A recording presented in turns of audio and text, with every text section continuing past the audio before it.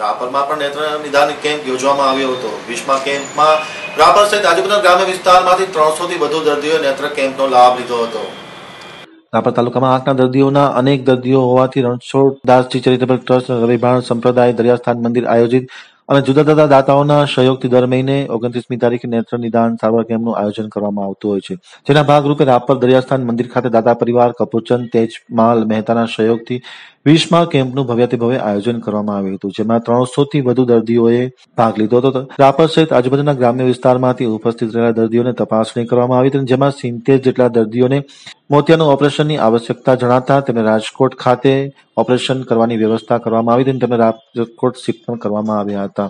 યોજાયેલા કેમ્પમાં સંત ત્રિકાલદાસજી મહારાજ દરિયાસ્થાન મંદિરના મેનેજિંગ ટ્રસ્ટી રસિકલાલ આદવાણી, વેલજીભાઈ લોહાર ધનસુખભાઈ લોહાર, દિનેશભાઈ ચંદે, સુનિલ રાદે, પ્રભુલાલ રાદે, ગોવિંદજીભાઈ ઠક્કર વાળીલાલ મહેતા, નવીનભાઈ મોરબિયા, વેલજીભાઈ મહેતા, નવીનભાઈ શેઠ, વિપુલભાઈ મહેતા, રસિક મોરબિયા, હિંમતલાલ ખંડોળ, ભોગીલાલ ઠક્કર, નિલેશ કારિયા, રાજેશભાઈ ચંદે સહિતના મહાનુભાવો આ કેમ્પમાં ઉપસ્થિત રહી પોતાની લાગણી વ્યક્ત કરી હતી.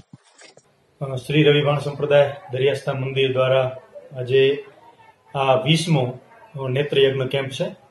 અને આજના મુખ્ય યજમાન મહેતા પરિવાર. આ રીતે આ વિસ્તારમાં આંખોની વિશેષ તકલીફ હોવાથી દર વખતે જે કેમ્પ યોજાય છે, એમાં આજે વીસમો કેમ્પ છે.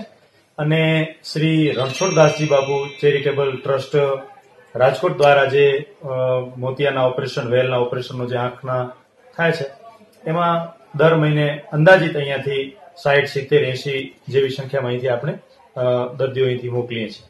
આજનો આ વીસમો નેત્રયજ્ઞ કેમ્પ છે અને આજના કેમ્પના મુખ્ય યજમાન કપૂરચંદભાઈ મહેતા પરિવાર છે. તો એમને પણ આ સેવાનો વિશેષ લાભ મળ્યો છે. આજે અંદાજિત ત્રણસો થી ઉપર જેવી સંખ્યાની દર્દીઓની તપાસણી થઈ છે.